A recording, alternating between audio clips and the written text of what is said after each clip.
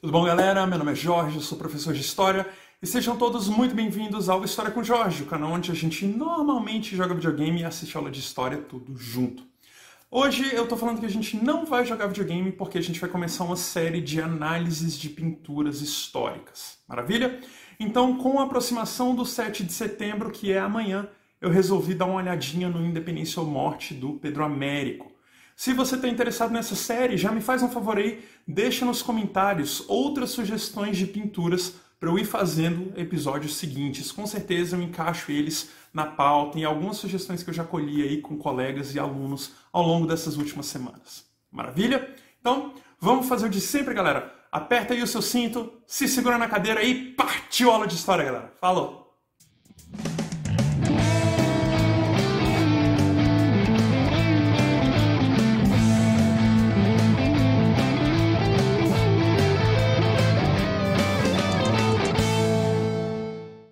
Bom, pessoal, nossa missão para hoje é dar uma olhada no Independência ou Morte, do Pedro Américo. Eu queria começar com a foto desse quadro dentro do Museu do Ipiranga, primeiro para a gente ter ideia da dimensão que ele tem. Maravilha? Então, o que a gente vai fazer com ele, para olhar para esse gigante, é aplicar nele o pacote, que é o nosso bom e velho procedimento para trabalhar documentos históricos. Pensar um pouquinho no público-alvo, no contexto histórico de produção, objetivos, tema tom e emissor. Vamos aí, público-alvo, galera. Primeira coisa que a gente tem que se ligar é se esse quadro é pintado em 1888 e ele chega no Brasil em 1895, quem é que estava indo a museus naquela época? Certo? Se a gente olha para os índices de analfabetismo do Brasil nos primeiros anos da República, eles eram absurdamente altos. Daí que é fácil a gente chegar na conclusão de que é um quadro de elites para elites. Maravilha? Depois eu toco nesse ponto com um pouquinho mais de calma. Enquanto isso, vai dando uma olhada aí no museu hoje em dia, na foto da esquerda, e na sua construção, por acaso, a foto é de 88 também, na direita. Maravilha? Outra coisa que o Museu do Ipiranga é o nome que a gente dá, vamos dizer assim, popular para ele. Alguns chamam ele também de Museu Paulista, mas o nome oficial é Museu Paulista da Universidade de São Paulo. E a própria universidade, galera, descreve esse prédio como um edifício monumento no seu site. Isso se dá por alguns motivos. O primeiro dele é que o complexo, no geral, é construído para receber o quadro do Pedro Américo e para que ele servisse como um centro de memória para a independência e para aquele determinado período de história do Brasil. Mas eu queria levar um pouquinho mais adiante essa questão do edifício monumento e convidar vocês aí para uma reflexão usando o meu queridíssimo Jacques Legoff, que é um historiador medievalista francês mas que também tem um trabalho muito interessante na área de teoria e filosofia da história. Diz aí o Jacques Legoff, com seu artigo Documento Monumento, dentro do livro História e Memória. Ele fala assim: de fato, o que sobrevive não é o conjunto daquilo que existiu no passado, mas uma escolha efetuada quer pelas forças que operaram no desenvolvimento temporal do mundo e da humanidade, quer pelos que se dedicam à ciência do passado e do tempo que passa que são os historiadores. Então tem uma escolha dupla aí, galera. De um lado, aquilo que vale a pena ser preservado, e aí a gente resvala aí na ideia do cânone e do patrimônio, e do outro, a operação historiográfica. Porque historiadores vão pegar objetos que não tinham pretensão alguma de serem documentos históricos, e a gente vai olhar para eles e a partir deles a gente vai tentar, vamos dizer assim, medir a temperatura do passado ou abrir portas para a gente poder enxergar uma outra realidade que não é mais a nossa. Maravilha?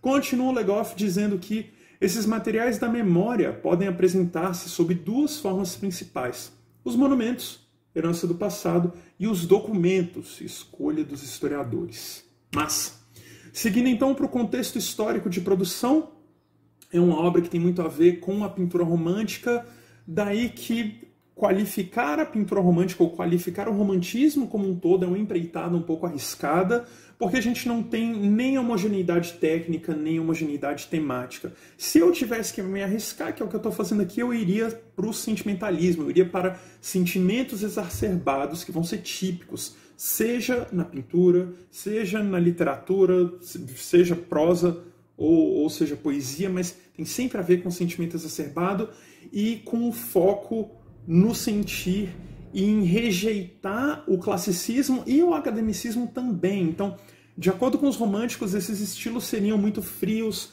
muito impessoais e muito sóbrios. Então a preocupação desses caras é de trazer emoções de volta. Como eu estou no século XIX, isso vai resvalar, claro, em pintura épica e heróica, em idealização do passado e dos grandes heróis nacionais, que não por acaso vão ser todos homens e brancos e de uma determinada composição social da, da, das camadas de cima da pirâmide. Mas segue a vida aí. As três obras que a gente tem aí, para quem ficou curioso, são A Liberdade Guia do Povo, do Delacroix, ela é de 1830, no meio eu tenho O Desespero ou Autorretrato do Gustave Courbet, 1853. E no cantinho aí de 1818, a mais antiga delas, é O Caminhante sobre o Mar de Neva, do Caspar Friedrich. Outras obras aí do Pedro Américo, galera, por que, que eu estou colocando isso em sequência? Para a gente entender como Pedro Américo dialoga com as outras escolas de pintura do período, beleza? Então, no nosso lado esquerdo, começando pela da esquerda e fazendo sentido horário. Eu vou ter a Batalha de Campo Grande, depois a pintura que está na vertical aí é a Fala do Trono, do Dom Pedro II, e embaixo eu tenho a Batalha do Havaí. Dá uma olhada nela, galera, se perceba que, no geral, a gente tem a mesma escola de, de pintura, a mesma forma de pensar sobre a tela, de colocar esses elementos na tela, e não é por acaso que ela se parece com essa daqui que é a tela 1807 Friedland, do Ernest Messonnier.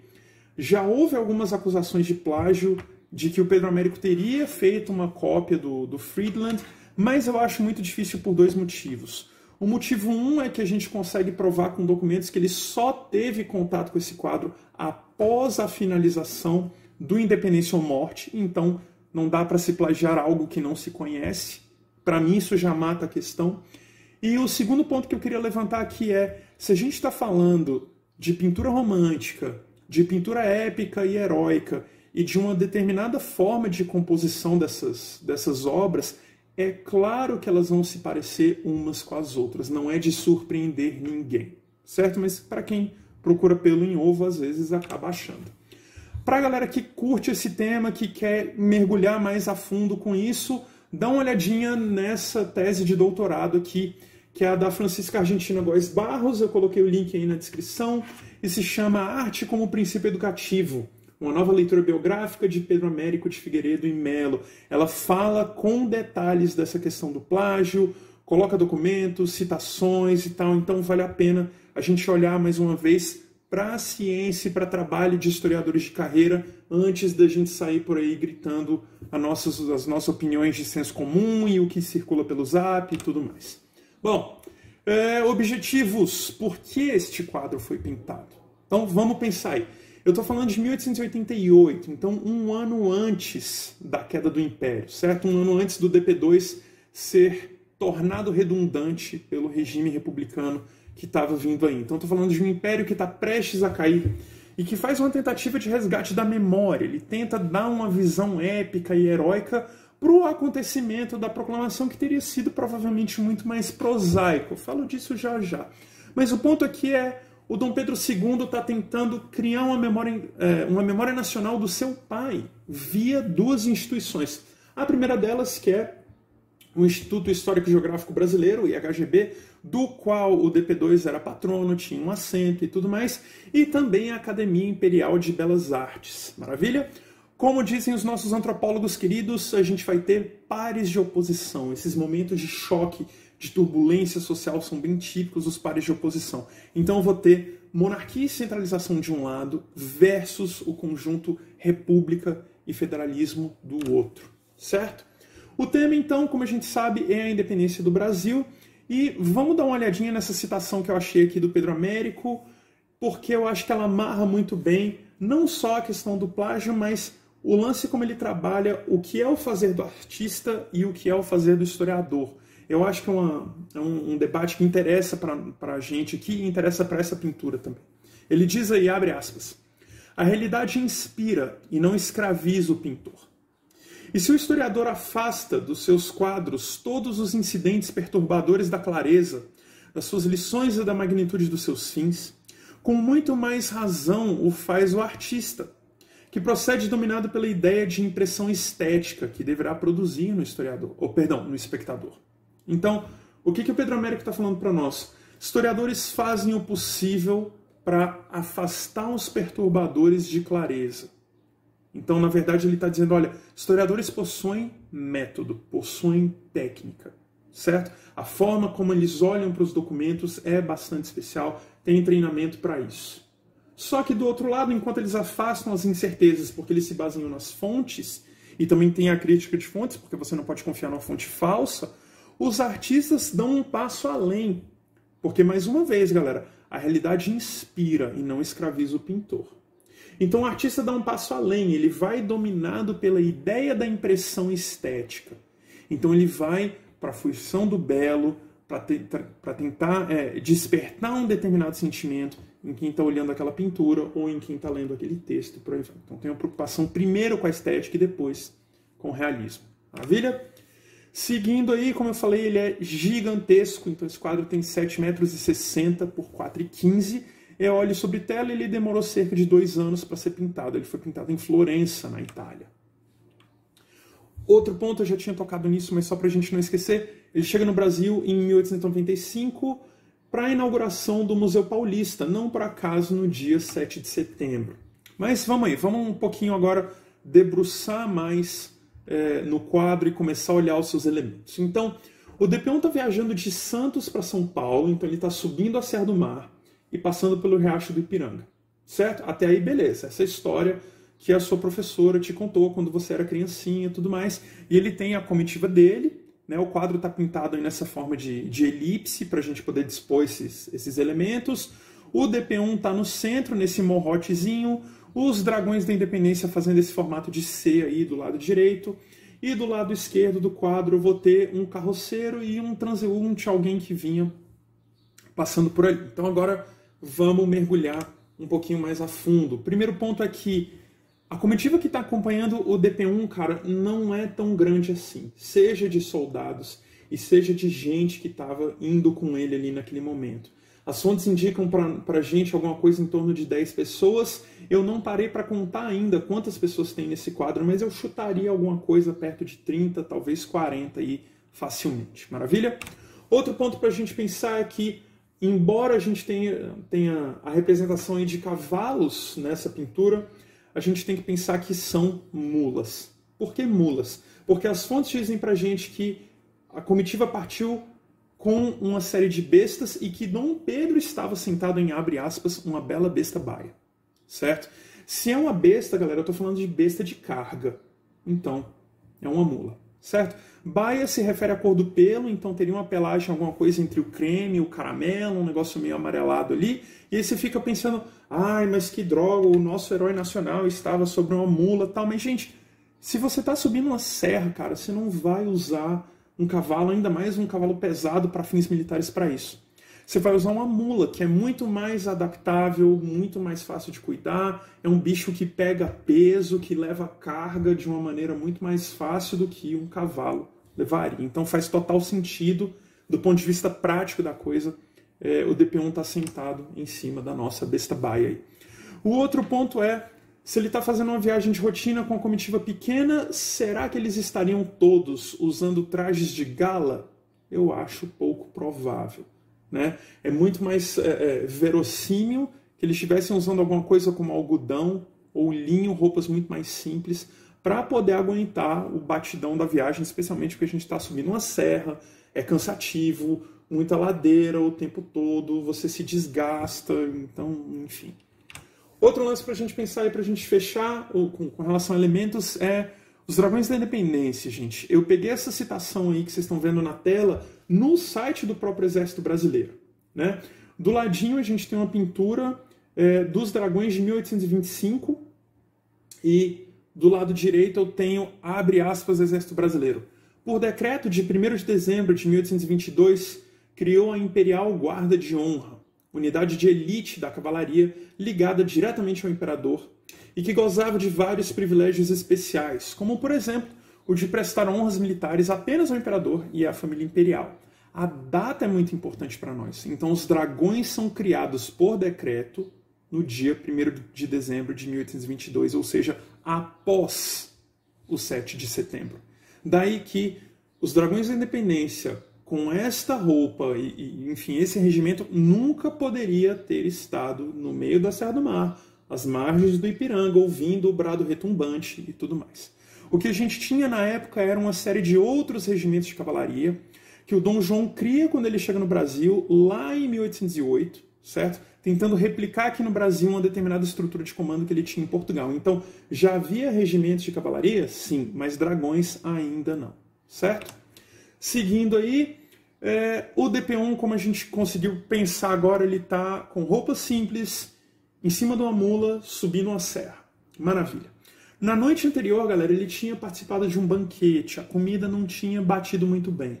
Será que ele ia conseguir ter a altivez de subir no cavalo, perfilar todo mundo, fazer a pose, sacar a espada e aí laços fora soldados e aquele papo todo?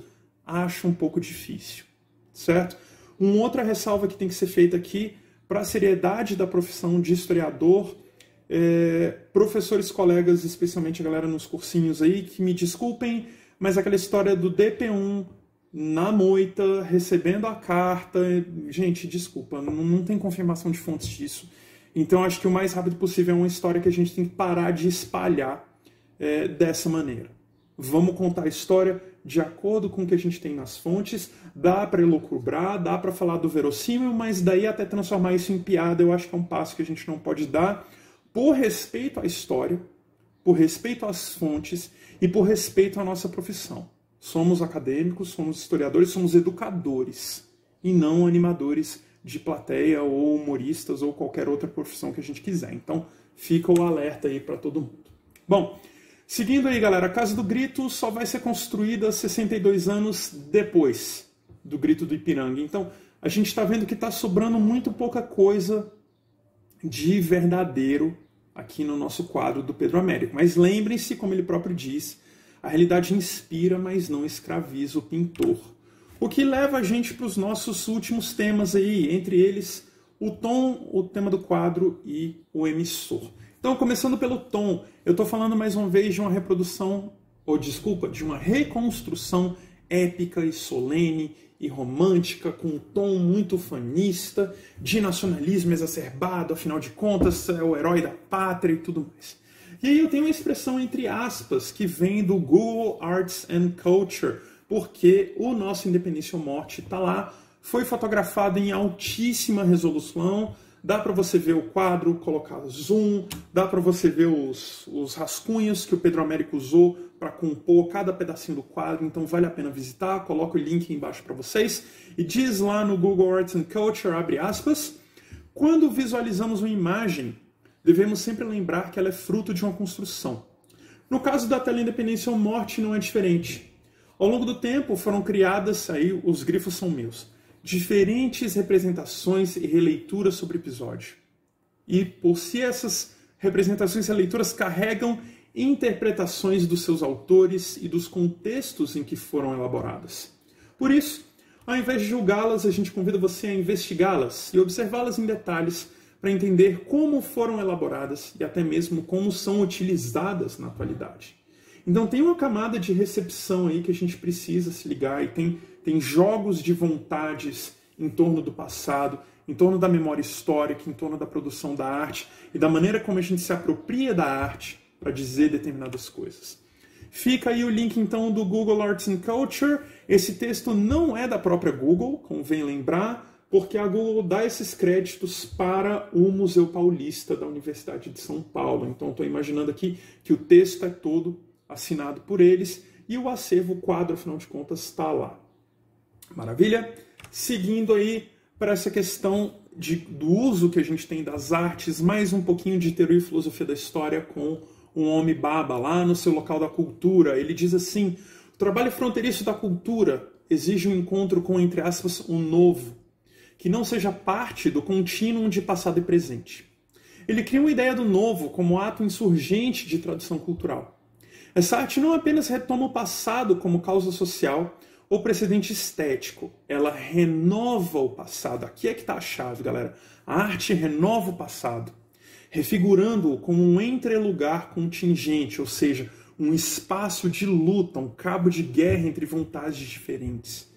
Então, esse entrelugar contingente inova e interrompe a atuação do presente. O passado presente torna-se parte da necessidade e não da nostalgia de viver. Conclui o Baba aí, é nesse tempo folheado de passado e presente e futuro que a gente precisa entender a arte e precisa entender as nossas ações. Não é o passado nostálgico glorioso, mas esse jogo contingente, esse cabo de guerra acontecendo o tempo todo. Maravilha? Por falar no cabo de guerra, tá aí outras leituras possíveis para o nosso 7 de setembro. em 1922, por ocasião do centenário da independência, a gente tem uma série de releituras, entre elas a sessão do Conselho de Estado da Georgina de Albuquerque, que inclusive já foi fonte do PAS. Maravilha? Do Programa de Avaliação Seriada da UNB, para a galera que não é aqui de Brasília saber uh, do que, que eu estou falando. Então, tá aí a Georgina dando papel de destaque para Leopoldina na proclamação. Tem outras leituras possíveis também, como a do Augusto Bracet, do DP1 compondo aí, o quadro se chama Os Primeiros Sons do Hino da Independência. Então são outras possibilidades para a gente pensar o momento em que a independência do país vai ser proclamado. Beleza? Para a gente ir caminhando agora para o fecho, galera, a gente tem um emissor, que é o próprio Pedro América, o cara que pinta esse quadro. Ele nasce em 1843, três aninhos depois do golpe da maioridade, que coloca o Dom Pedro II no poder. Ele vem a falecer em 1905, já na República, então ele pega esse período de transição. Com 11 aninhos, galera, ele vai ser admitido na Academia Imperial de Belas Artes, no Rio de Janeiro, mas ele não assume ainda, porque ele tinha que fazer aulas de francês, de latim, de mais uma porrada de coisa. Depois ele acaba ingressando, acho que dois anos depois, no curso de desenho, se forma e vai para a Escola Nacional Superior de Belas Artes em Paris. Ele tem uma carreira na Europa relativamente longa, onde ele estuda com o Jean-Auguste Dominique Ingres, que é o cara que faz um Napoleão entronizado. Depois eu coloco na edição, esqueci de botar aqui no, no slide para vocês. Mas o ponto é, gente, o Pedro Américo recebe apoio do DP2 e da imprensa da época. O DP2 vinha surfando uma onda de, de popularidade, especialmente nos anos 1860, por causa da vitória brasileira na Guerra do Paraguai. E aí o Pedro Américo pega carona disso, acaba meio que se tornando o pintor oficial da, da corte, tem uma relação de mecenas com o DP2 e ele vai pintar uma porrada de coisas aí, como aqueles quadros que eu mostrei lá para vocês. É, quando a gente tem a troca de regime, o Pedro Américo passa a pintar quadros favoráveis à República e um deles é o Tiradentes Esquartejado.